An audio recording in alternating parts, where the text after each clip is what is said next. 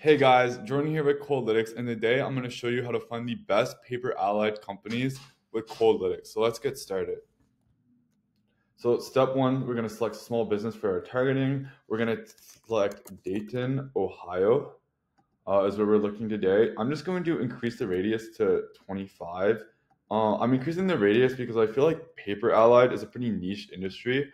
I'm going to add that. I'm going to hit next.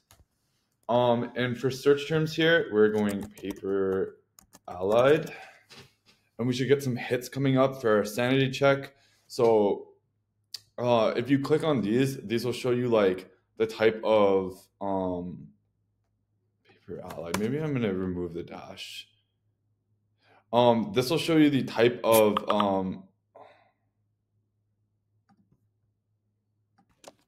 Next, I'm going to select my industry. So I'm going to type in paper allied and uh, just make sure when you're, um, you know, uh, locking in your industry search term to just check some of these websites to make sure that these are the companies you are looking for. With that being said, I've checked this pre uh, beforehand, so I'm just going to add it. Uh, I'm going to hit next to lock it in. Key decision makers, we have our owners and founders, and we also want to target our director and executive. Just in case the owner has a C suite title, it'll cover for this case. I'm going to hit next to lock that in. And this concludes our targeting. Now, I know Paper Allied is kind of a niche. Um, it's a niche industry for sure. So with the, the more niche industries, I'm going to do less filters. Um, and just whatever I get afterwards, I'm going to filter by the data, data metrics. But one that I do want to just highlight is the Google review. I want to make sure this company has between three and a five for their Google review. That way that you are you are getting like quality companies in the sense that you know they're respected by their clients and customers. That's why they have this review score. So your benefit in all of this is that these companies will just be easier to work with and they'll have like a better expectation of your services that you're providing. Uh, with that being said, I'm going to hit next to lock that in. I'm just going to go to our deliver section, I'm going to make sure, I'm going to reset this, but I'm essentially just adding all these data points.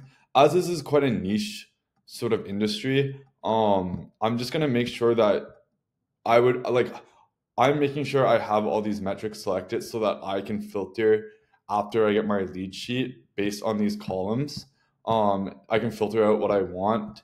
Um, and you know, you have tons of things. You have more like marketing related stuff with all the search term, the ad pixels, the social media profiles, the Google uh, the Google um, review score and count, and the profile and claim. Then you also have more sales related stuff like revenue, head count, and data established. So you know, selecting all these uh, data points, and they're free by the way. You know, there's no limit except for the direct dial for what you can select. But having a wider range of um, metrics to compare your companies and see what's a good fit, especially with like a more niche uh, industry like Paper Allied is like a win-win because you you know you can really dial down what companies you want to reach out to.